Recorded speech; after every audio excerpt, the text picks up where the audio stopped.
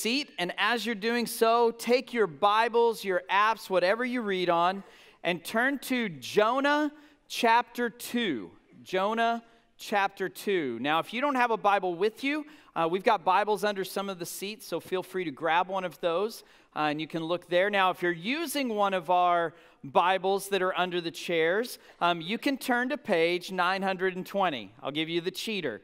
Uh, if you are using your own Bible or whatever, then you may want to go to the table of context context because Jonah is literally four chapters and it's like two to three pages in, a, in any given Bible. So it's kind of hard to find at times, especially if you're kind of flipping through the pages. So uh, don't be afraid to do that. Now, as you're turning to Jonah chapter 2, uh, let me give you uh, what we talked about last week. Let me tell you what happens in Jonah chapter 1. Okay, so Jonah chapter 1 begins with this prophet named Jonah, and God comes to Jonah and says, I want you to go to Nineveh and preach to the Ninevites. And Jonah, mind you, he's a prophet. Jonah decides that he's not going to go to Nineveh, he's going to get on a boat and go the opposite direction as if he can run from God. So he gets on a boat, he decides he's going to run from God, and when he's on the boat, God sends this massive hurricane style storm to sink the boat to, to get Jonah to realize what he's done. And so the boat's getting ready to sink. The sailors are trying to figure out what to do. And so they start decide they need to figure out whose God is mad at who on the boat. And so they do what's casting lots. It was a way to figure out what was going on and to decide who was in the wrong. They cast lots and they figure out that it's Jonah. And they go to Jonah and say, Who are you? Where are you from? What God do you serve? And what have you done? And Jonah says, Well, I'm a Hebrew. I, I, serve Yahweh God, the, the God of the Israelites, the one true God. And, and yeah, I'm running away from him. And the sailors are like, You're an idiot. Stop. And so they, they tell him, We're, we're going to try and figure things out. They throw things off the boat to try and save it. They can't do it. The storm's too great. And so they finally say, Jonah, we're sorry. And they pick him up and throw him off the boat. Literally pick him up and throw him off. As soon as they throw him off, everything's fine. And on a side note, those sailors end up sacrificing and worshiping God after experiencing what God did in that moment. But Jonah gets thrown into the water, and Jonah chapter 1 ends with verse 17, which says, And the Lord appointed a great fish to swallow up Jonah. And Jonah was in the belly of the fish three days and three nights. Okay? If, if you were asked the typical child who went to like vacation Bible school or church camp or something like that, what's the memorable part of Jonah? They would tell you that Jonah gets swallowed by a big fish, right? This is the part of the story that we all remember. So let's pick up though in chapter 2 because there's so much more to Jonah than a fish. So let's read chapter 2. Chapter 2, verse 1, and it says this. Then Jonah prayed to the Lord his God from the belly of the fish. Now keep in mind, he's in a fish. Okay, you with me? He's in the stomach of a fish. All right, so verse 2 saying, I called out to the Lord out of my distress, and he answered me. Out of the belly of Sheol I cried, and you heard my voice. For you cast me into the deep, into the heart of the seas, and the floods surrounding me. All your waves and your billows passed over me. All right, stop there for just a second. Verses 1 through 3 of Jonah chapter 2 is basically Jonah realizing that he's messed up. And he is now receiving some pretty severe punishment for his mess up. So let's pick up in verse 4. Then I said, I'm driven away from your sight, yet I shall again look upon your holy temple. The waters closed in over me to take my life. The deep surrounded me. Weeds were wrapped around my head at the roots of the mountains. I went down to the land whose bars closed upon me forever. Yet you brought up my life from the pit, O Lord my God. When my life was fainting away, I remembered the Lord, and my prayer came to you in your holy temple. Those who pay regard to vain idols forsake their hope in steadfast love. But I, with the voice of thanksgiving, will sacrifice to you. What I have vowed, I will pay. Salvation belongs to the Lord. So, verses 4 through 9 is Jonah realizing just how much trouble he's put himself in, and he praises God in it. He realizes, I brought this on myself. I'm the one who messed up, and I deserve the punishment that I received. But despite that punishment, despite the hard circumstances, I'm going to praise God anyway. And then it ends with verse 10. And the Lord spoke to the fish, and it vomited Jonah out upon the dry land. All right, so let's stop and think about this for a second, because I think we kind of gloss over a lot of Bible stuff that we really need to think about for a moment. We have a beautiful lake just a you know, right outside our doors right here. And many of you love to be out on that lake to fish. Many of you take your kids and your grandkids out to the lake to swim and play uh, and uh, have recreation out there.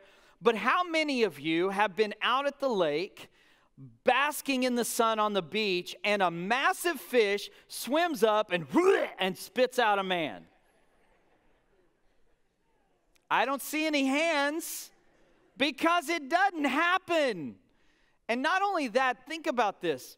This is a man who's been in a fish not for like a minute, he's been in the belly of the fish for three whole days. Have you smelled a fish before? You think the outside of a fish smells bad. What do you think the inside of the fish smells like? That's what Jonah smelled like he's been thrown up onto the shore after being in a fish for three days and three nights. And the people on the shore are not seeing this, witnessing this man thrown up on stage. They're not looking at that going, oh, what a beautiful thing God did. That's not the response. People probably ran screaming in terror because this kind of thing doesn't happen. To be honest, if you think about it, we're going to look at this in just a minute, but if you read chapter 2 in depth, Jonah is saying that his death was in drowning. If you read this in depth, he talks about how he went to the deep and the flood overtook him, and he, there was weeds, seaweed surrounding and wrapping around his head. Guys, the fish was the salvation, not the punishment. How bad is that? That his his punishment was that he thought he was going to die through drowning, that, he, that the water was surrounding him, and his salvation is that God brought a fish to him who swallowed him for three days. I don't know about you, but if I'd been in a fish for three days and I got spit out on shore, that sunlight would have been salvation for me. And so wrap your mind around that for just a second because I think, again, we sugarcoat this all too often. Jonah was at the brink of drowning, he was at the bottom of the ocean, getting ready to be dead. And God sent a fish to save him. God didn't send a life preserver or give him the sudden energy to be able to swim to the top of the water. God sent a fish to save Jonah. So here's what I want to talk about today. Today, I want to talk about getting right with God. Because let's be honest, we all rebel from God from time to time, don't we? We all stray from God. We all do things that separate us from God and His presence. And so today I want to talk about when we're living in that rebellion, when we feel separated from God, how do we come back to Him? How do we get right with God? And I think Jonah gives us three steps. Jonah gives us three steps of what it looks like to get right with God again. And those three steps, the first two are things that we do. And then the last step is God's response to what we do, to, to the way we respond. So let's look at these three steps because I'm going to say this it's not complicated I think that we as Christians have a tendency to overcomplicate very simple spiritual matters. This is not a complicated thing, but I'm also not going to tell you it's an easy thing. Uh, these first two steps can be difficult. These first two steps can be hard steps to take. So let's look at them so that we can begin the process of understanding what it looks like to get right with God. So the first step is that we have to realize. Step one is that we have to realize. We have to realize how we're rebelling from God, how we're living outside of God's plan for our life. Okay? You know, Jonah realized, didn't he? Jonah had an aha moment. Now, it took getting thrown off of a boat overboard and almost drowning and getting swallowed by a fish before Jonah had his aha moment. Don't be Jonah, by the way. But Jonah had one of these aha moments. Now, I'll tell you right now, I've had a big fish moment. I've had one of these moments where I kind of hit rock bottom. And don't raise your hand, but how many of you, how many of us in this room have had a big fish moment where we've hit rock bottom and God was the only thing that could get us out? I think a lot of us in here could say that. And if you haven't, you are smart. Keep up that pattern. Don't have a Jonah moment. You don't have to hit rock bottom. But my big fish moment was when I was in college. I made stupid, horrible, dumb financial decisions. And I got in a lot of trouble financially. And I had multiple opportunities to take my situation and correct it and make it better and follow God more closely with the way that I used and managed my money. But I never took advantage of it. My hit rock bottom moment, my big fish moment, was when a police officer was putting cuffs on my hands and putting me in the back of a car. That was my big fish moment. I had gotten in so much trouble financially that I had warrants for my arrest, and I got arrested because I decided that I knew better how to manage my money than God did. And as a result, I got put in the belly of something. I got put in the belly of a jail cell. Now, it was in that moment, though, that things began to change. Because did that alter the way I was looking at my situation? Absolutely, it did.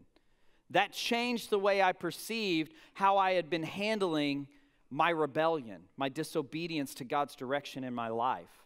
And so that was my aha moment. That was the point when I realized I can't keep doing what I'm doing.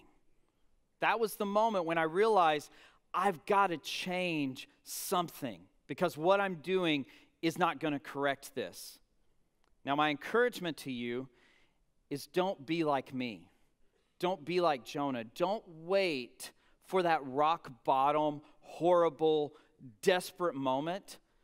See what God's doing. Realize what God is leading you to do, what decisions He's calling you to make before you hit the rock bottom. Because the rock bottom's not any fun. Which leads me into the second step. So, the first step is we have to realize how we're living in rebellion to God. The second step is that we need to repent. We need to repent. And that's what Jonah does in verses 4 through 9. He begins the process of repenting and praising God. Now, I don't know about you, but I don't throw around the word repent and repentance in everyday language all that often. Do you? Probably not. It's kind of a churchy word. It's kind of one of those words we use in this context right here, but we don't use it in everyday language all that often. So, what does it mean to repent? What is repentance? Well, it's very simple. The, if you go and read the Bible in the original languages that it was written in, Hebrew and Greek, the word literally means to turn around.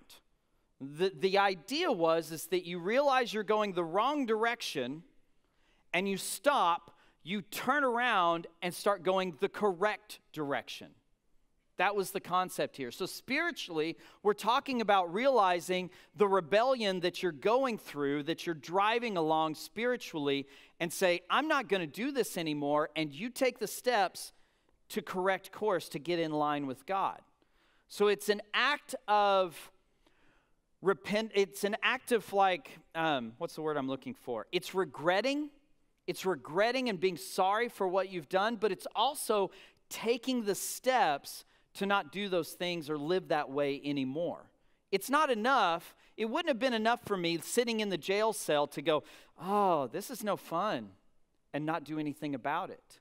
Because if I would have gotten out of jail in that moment and not made any changes to my life, where would I have been six months down the road? Back in a jail cell. Because repentance is not just regret, repentance is regret that's followed by action. It's not enough for us to say, oh man, I'm sorry. Oh, I really regret that decision that I made, or I really regret those words that I used. It's not enough to just say we're sorry. We have to take action to correct whatever it was that we did or said. You know, what's the old saying? A real sign of really being sorry is the action you take to show that you're going to not do that again, right? So the idea here is that repentance is the regret and the action that follows. So I realized when I was in jail that I was the one who made the stupid mistakes that had put me there. I'm the one who was dumb. I'm the one who rebelled against the wisdom of God that I knew was right. And in that moment, I made decisions to not do that anymore. I repented. I made financial decisions in that moment because I realized I was going out to eat four to five times a week.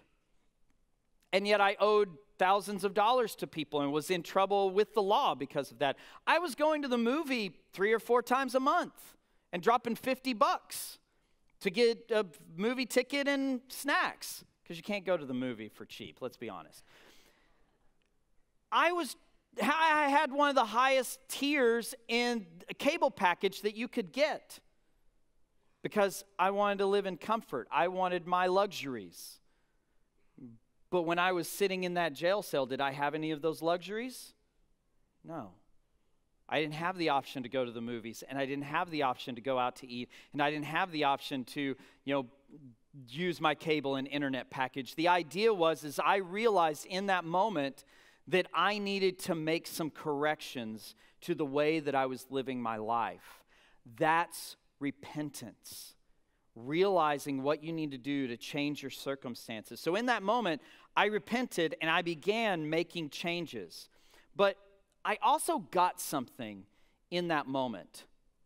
The Bible describes in the Old Testament that when we sin, we separate ourselves from God. It's us doing that. It's not God walking away from us. It is when we sin, we consciously take a step back away from God and we separate ourselves from that relationship. But the Bible also says in James chapter 4 verse 8 that when we come closer to God, he comes closer to us. So in that moment, when I realized how I was living in rebellion and I began living in repentance, God's presence became much more real in my life. And that's a big deal because God's presence provides power. God's presence can provide power to your situation. It provided power in my situation. When I began to repent and I began experiencing once again the power of the presence of God, I suddenly had the ability to endure that difficult situation. Look at Jonah. He was in a difficult situation. Can we all agree? Absolutely. Belly of a fish. Doesn't get much worse than that. So he's in the belly of the fish, but the moment he began repenting and praising God, he had the power to endure that situation. So God's power gives us the endurance that we need to face the difficulties of our life. But God also answers us and delivers us from impossible situations. It was through Jonah's repentance that God responded and saved him, isn't it? If Jonah had remained in that fish and gone, This is not my fault, you shouldn't have ever sent me over there. If he would have continued rebelling from God, do you think God would have ever saved him? No. Why would God do that? It's through his power, through his presence, that we can endure and get through impossible situations. Living in a fish is an impossible situation. I'll tell you right now, the moment I got arrested felt like an impossible situation. It felt like everything in my life had just fallen apart, that, that there was no hope, there was no light at the end of the tunnel. But His presence, suddenly gave me the hope that I needed. Which leads us into step three. So we talked about realize your rebellion. The second step was repent. And the third step is what God does in response, and that's redemption. Redemption. God brings redemption when we begin to follow Him more closely. I have a five month old son at home. He turns five months old tomorrow. His name's Declan. He's the cutest child on the face of the planet, and none of you can argue otherwise. Shut your mouths. but parents, or anybody who's been around an infant, when that infant starts crying, do you pick that infant up and take it outside and then go back inside so you don't have to listen to it anymore? No. When your baby cries, when Declan begins to cry, whatever I'm doing stops and I go to Declan. That's my response. Because, quite frankly, it's not because he's annoying me, it's not because the cry is something that irritates me. I go to my son because I love him. I go to my son because I want to take the crying and change it to contentment.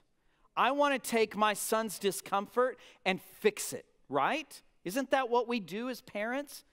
Okay, you're crying, you're hungry, let me feed you.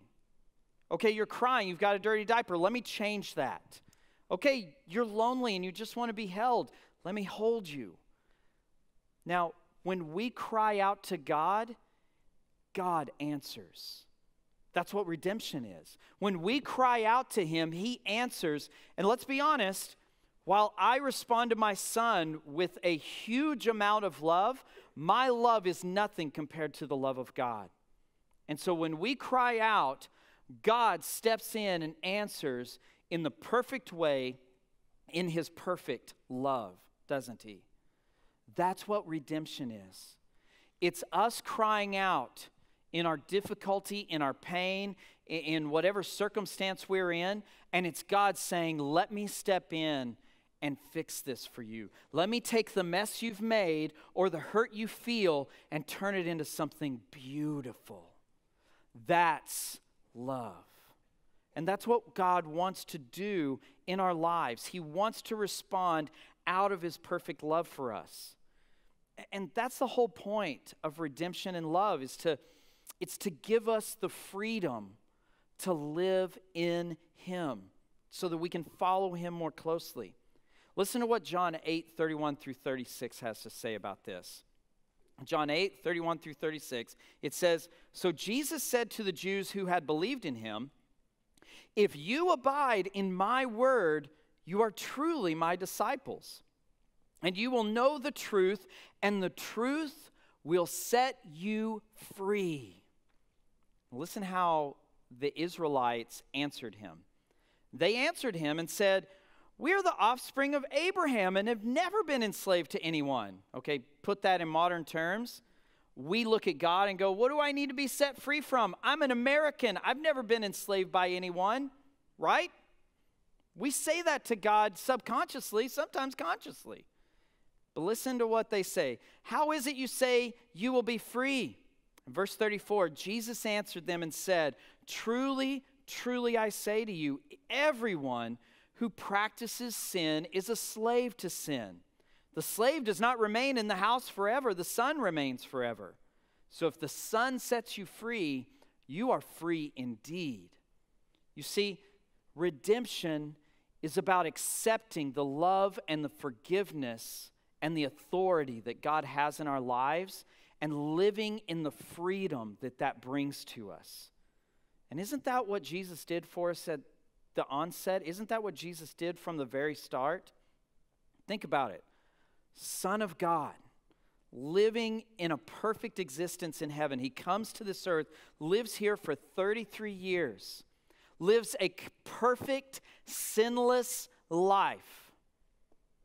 And yet, despite his perfection, despite who he is, he's nailed to a cross, condemned to die. And in that moment, hanging on the cross, he became the perfect sacrifice for your and my sins. in that moment, he wiped away the mistakes, the sins, the rebellion that we live in continuously. He wiped that away and cleansed us of it. That's what his death on the cross did for us. Then on the third day, he conquered death. He had victory by raising from the grave. And then he ascended into heaven.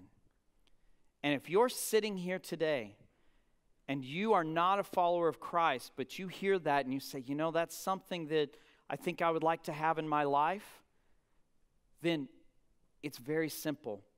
Here in a few minutes, we're going to close the service out and we'll have our prayer team up here at the front. And all you have to do is come up here in the midst of everybody already up walking around. No one's going to single you out. Come up here and talk to one of our prayer team members and ask them, what does this look like? What does it mean to follow Christ? What does it mean to begin a life changing relationship with Jesus? And they would love to walk you through that and explain what that is and what it means. But for those who know Christ, who already have a life changing relationship with Him, living in that redemption means that we've got to look in the mirror and realize how we're not following Him. And then we have to repent. We have to see what we're doing wrong and turn away from it, and then live in the beautiful redemption that God has for us. Because that's what God does. His redemption then should inspire us to go and open that redemption up to others. So let me give you a little preview of what happens in the next chapter. Don't tell Chad because he's preaching on this next week. But next week, chapter 3, Jonah, covered in fish, whatever, on the shore, hears God tell him, Now go to Nineveh. And Jonah says, Okay. And he goes to Nineveh, and because he preaches a message, message of redemption, lives are changed. That rock bottom moment, that big fish moment in our lives, and God's redemption out of that should inspire us to show that redemption to everyone around us.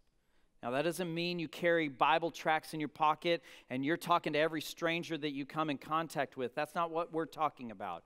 We're talking about those people that you encounter day in and day out that are looking for something, that need some redemption in their life, that need some love and freedom in their life.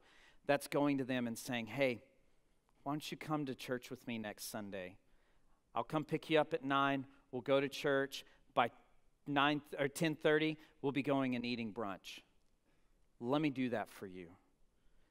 It's inviting someone to hear the message of redemption that God has for them.